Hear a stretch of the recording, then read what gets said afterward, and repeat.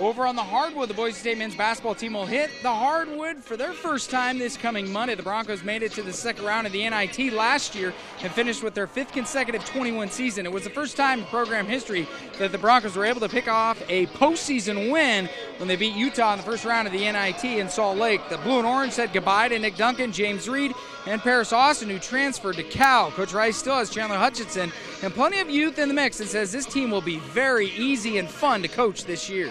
I just love this team that we have. I mean, the personalities all are, are so terrific. The guys care about each other. The guys play to get, Like I said, this might be our, one of our best teams as far as playing together and doing their job and understanding their job and caring about each other. And, and you know, that's going to translate over the course of a season. On the women's side, the Boise State women's basketball team have been able to play in the NCAA tournament in two of the past three seasons.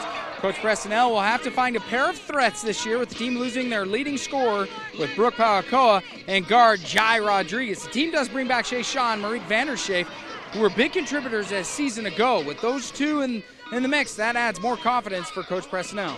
We had a great season last year and we have a good nucleus coming back and so uh, we're a young team but we got an experienced team and then we have Shay Shaw coming back for her senior year who has got a chance to be the first person to go to three NCAA tournaments and so uh, we've got a lot of goals set for her and she has a chance to be the first person to in the, in the top 10 in scoring, rebounding and assists. So uh, we got a lot of individual goals for but also a lot of team goals so we, we'd love to defend that title but we'd like to win a regular season title as well.